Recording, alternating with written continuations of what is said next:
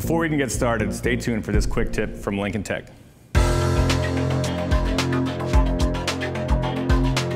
Here's a few tips for measuring main bearing oil clearance. This is the gap between the outside diameter of the crankshaft journals and the inside diameter of the main bearings. Step one, use an outside micrometer to measure the diameter of each journal. This becomes your standard. Next, install the bearings and torque the main caps to spec. Then insert the dial bore gauge into the mic.